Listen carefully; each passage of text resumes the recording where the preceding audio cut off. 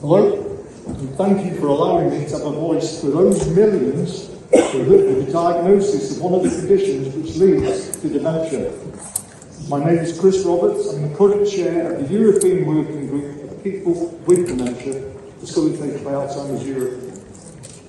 Living with dementia will and does disable us, especially as it progresses. But still, our rights as individuals, as humans, our disability rights and employment rights, along with any support we might receive, are still not there, and still not recognised. We live with in inequality which makes us socially excluded, most living on their own, alone and with poverty.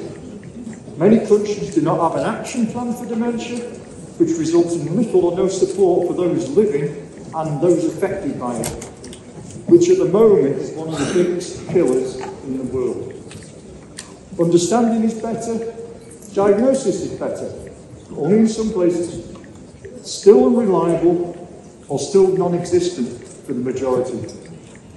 More investment and funding for services, education and support, not just across Europe, but globally, is desperately needed for everyone, equally and ethically.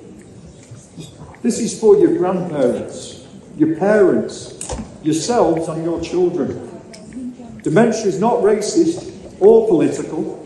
It does not care about your background, who you are, or which country you are from.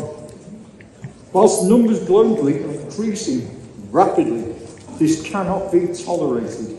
This must be improved. We will not be forgotten or left behind, but only with your help, as we cannot do this alone.